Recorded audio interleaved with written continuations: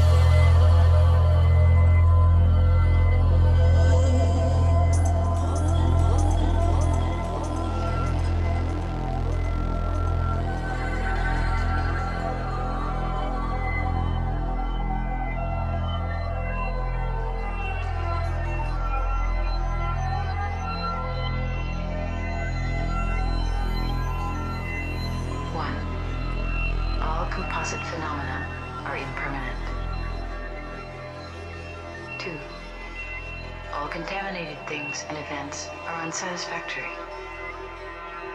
3. All phenomena are empty and selfless. And 4. Nirvana is true peace.